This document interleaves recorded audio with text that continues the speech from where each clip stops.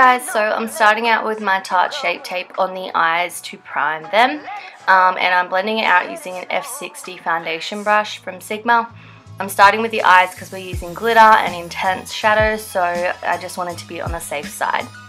And then I'm just setting with my RCMA No Color Powder because there's no um, matte bone shade in the palette.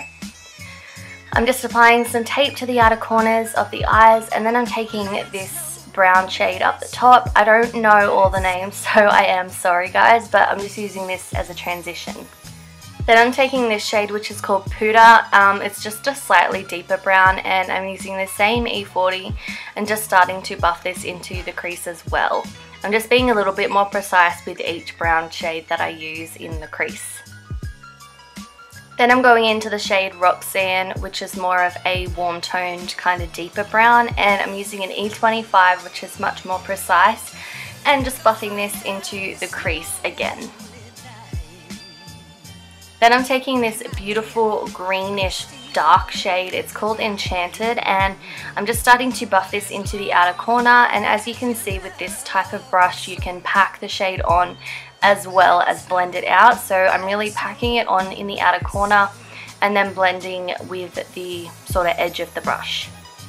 Then I'm taking this shade next to it which is called Diva. Oh my god this shade is gorgeous. It's like the perfect emerald green color. I love it. So I applied it to the outer corner and the inner corners while leaving the center of the eyelid blank. And then I took this gorgeous gold shade called Queen and I applied it with my finger right into that center part of the lid.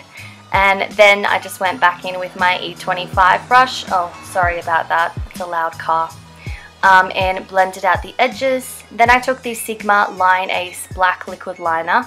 Um, this liquid liner is probably my new favorite I am obsessed with how easy it is to apply and how black and matte it is. I love it. So I just created a wing with that and then I took the LA Splash uh, like glitter primer and the Mecca Max loose glitter in I think Cashed Up it's called. Um, so I applied it with my E54 brush from Sigma and I just applied it on top of the gold, so right in the center of the lid. Then I removed the tape and went in with a black liner from Rimmel and just tightlined my eyes with that. Then I applied some Marc Jacobs Velvet Noir Mascara and I went in with these Ardell Glamour Wispies. Then moving on to the face, I just took a simple cleansing wipe and I just pretty much got rid of any fallout that I had on my face. Then I primed using the Fenty Beauty Primer um, and just massage that into my skin. And then I use the Fenty Beauty foundation. Uh, this one's in the shade 190, so I just pumped a few pumps of that onto my cheek. And you can see the full coverage, it's so amazing. I love this foundation. Um, and yeah, I blended that in with an F88 brush from Sigma. Then to conceal my under eyes, I took my Tarte uh, Shape Tape Concealer in Fair Neutral. So this is the lighter shade that I have and I pretty much applied it underneath my eyes trying to highlight and then I went in with the Too Faced Born This Way Concealer in medium and I was just going to conceal all around my chin like where I had imperfections. So I blended all of that out but then I felt like it just looked too uneven with the highlighted under eyes so I added a tiny bit more of the Tarte Shape Tape to the center of the face just to make sure everything looked cohesive. Then to set all of the concealed areas, I used the RCMA No Color Powder once again, and I just used an F35 brush from Sigma just to press it into my skin. Then going in with the MAC Mineralized Skin Finish in Dark Deepest. This is actually a face powder, but I use it as a bronzer. Um, I'm using an F05 brush just to pretty much bronze and kind of contour the skin, just give it a bit of warmth and yeah. And then for blush, I took the Sigma Nymphaea blush. I'm not sure how to pronounce it, um, but I used it on an F40 brush and just applied it to my cheeks.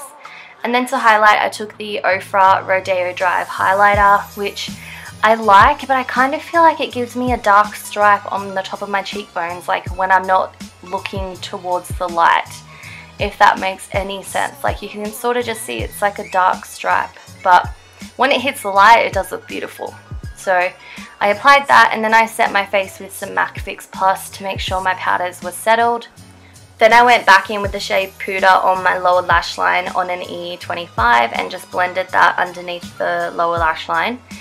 Then taking the shade Enchanted again, which is that greeny dark black kind of shade, I just did the same thing. I just buffed this underneath the lower lash line to make sure everything looked like it all matched. And then I took my E40 brush just to make sure everything was super seamless and then going back in with that Diva shade and applying a little bit more of that to the sort of inner and outer portion of the lower lash line, pretty much mimicking what we did on the top lash, top lid.